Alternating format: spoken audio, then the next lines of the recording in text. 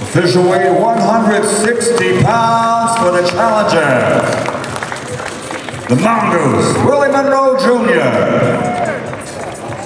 And now stepping on to the scales, ladies and gentlemen, the undefeated, reigning and defending middleweight world champion, Gennady Triple G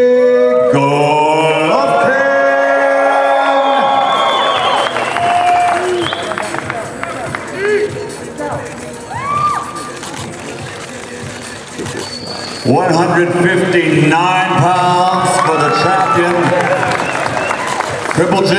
Good night.